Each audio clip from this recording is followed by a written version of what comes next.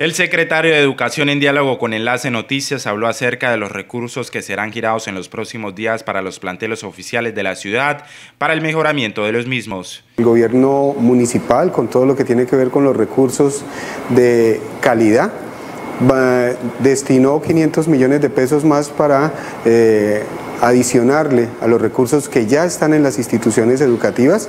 Ya se hizo un giro por valor de 2.711 millones de pesos y con estos 500 millones de pesos más vamos a buscar que se mejoren las condiciones de las instituciones. De la misma manera, el funcionario dio a conocer cómo será la distribución de los recursos y el tiempo estimado para que los dineros estén en manos de los centros educativos. Estos 500 millones de pesos van a ser, van a ser destinados por parte de la administración municipal dependiendo el número de estudiantes que tenemos en cada institución educativa.